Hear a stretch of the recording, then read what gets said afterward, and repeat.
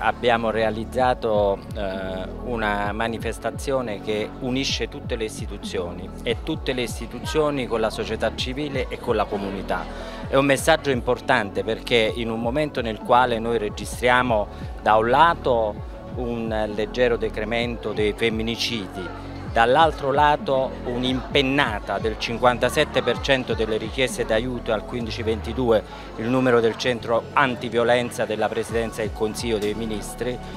abbiamo bisogno ancora una volta di eh, sottolineare che siamo tutti insieme contro la violenza, ma essere tutti insieme contro la violenza significa innanzitutto cercare in tutti i modi di promuovere un cambiamento culturale,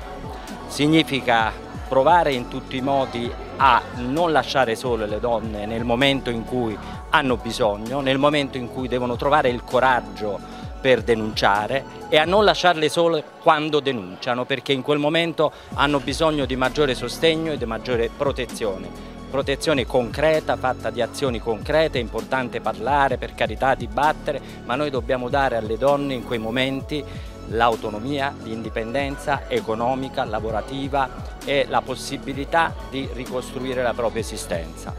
E poi c'è un altro tassello che è quello che riguarda noi uomini, qui mi sento protagonista non solo come prefetto ma anche come uomo ed è quello che noi dobbiamo in tutti i modi essere consapevoli che la donna deve essere libera, libera di scegliere, che l'amore come dicevamo prima, è libertà e che di fronte a un rifiuto, di fronte a un rapporto che si interrompe, non si sceglie mai la via della violenza e non si deve scegliere men che meno la via di eh, eh, farla finita.